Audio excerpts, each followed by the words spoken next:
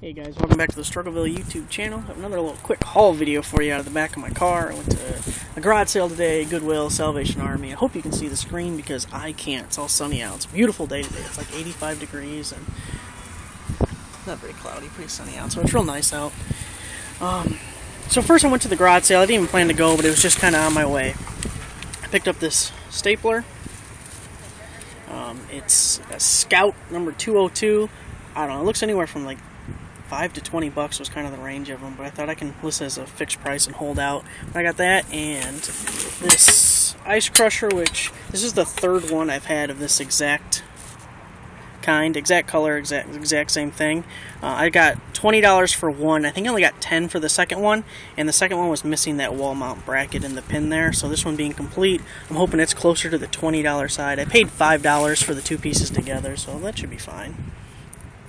It was an auction at a or auction. It was a garage sale at a farm, which was really nice. I kind of prefer those to the subdivisions and in-town ones. These are all um, coffee mugs that I bought. One of them was a Starbucks coffee mug for 49 cents. All of them were either anywhere from 25 cents to 99 cents, but I'm not actually going to sell them per se. I'm using them for a craft project I'm going to do. If that works out, I'll do a video to show you guys what I'm making with them. Um, but yeah, that's so I bought, I don't know, there's maybe 10 or 15 of them there. I got three board games, Beat the Parents, which I've sold before, Monopoly, and I'm thinking, you know, Monopoly's around so much, um, if it's not complete, I could probably sell some of the pieces out of it, and, um, I don't know, but Monopoly's probably only worth like 5 to 8 bucks or something. And then Hi Ho Cherry-O back there, it was 49 cents, and, um, I have like four or five of them there, just missing some of the cherries, so I figure I can make a complete, couple complete games maybe out of those. Then I just got a few books, not a whole lot. I was here about two weeks ago and I didn't scan all of them. I got bored. But this one, I think it was this one. I could be wrong, but uh, the cheapest one was forty dollars, and it has a forty thousand sales rank. So I paid two dollars for that. So that kind of makes up for anything else. But Salvation Army, the Salvation Army stuff's still on my card here.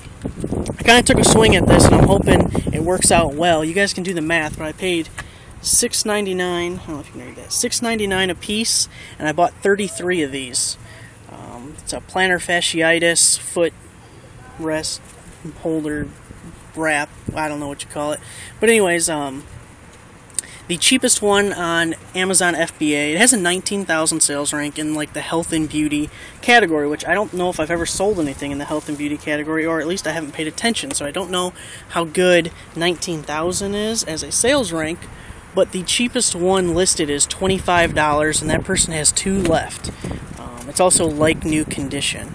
My only question is some of these, if I can find one, are really beat up, the packages. Like the item's new, but the package is like ripped or just kind of looks beat up and I don't know if on Amazon if I would want to sell that as a new item or a used item with the damaged packaging.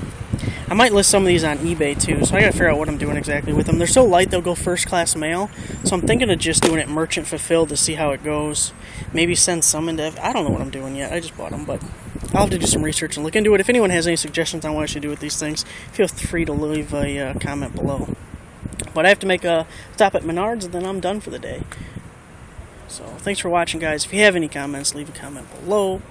Make sure to give the video a like. I hope you can see it. It's so sunny out, but this weather's awesome. I'm going to try and get as much done outside today as I can. Hopefully the weekend's just as nice. Anyways, guys, thanks for watching. If you're not a subscriber, make sure to subscribe to the channel.